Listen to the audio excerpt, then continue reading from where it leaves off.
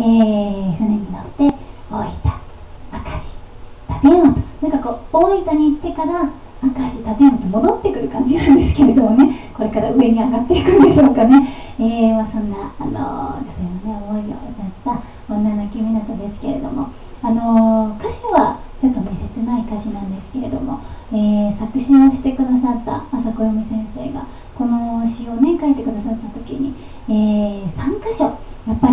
あの場所を入れて、えー、書くのはとても大変だったというふうに先生がおっしゃっていて、で、あの作曲をしてくださった徳井先生は、ちょっとあの詩を読みますとね、こう切ないしっとりとした曲なのかなって皆さん思われると思うんです、最初。えー、でも、そこをあの変化球で、えー、ちょっとノリのいい、こういうリズムの、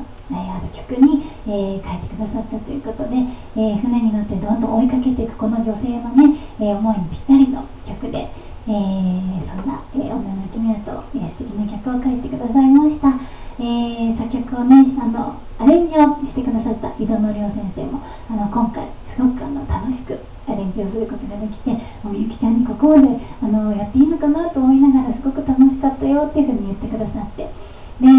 このあの女の君だと今日お買い上げいただいた皆さんに、えー、シングルをお買い上げいただいた方には、えー、ポスターがついております。で、第一記事はもちろんついているんですけれども、あとあのアルバムをお買い上げいただいた方には、ステッカーがついております。女の君だとのステッカーがついておりますので、えー、特典もいろいろあります。ぜひ皆さん、えー、女の君だと応援してください。よろしくお願いいたします。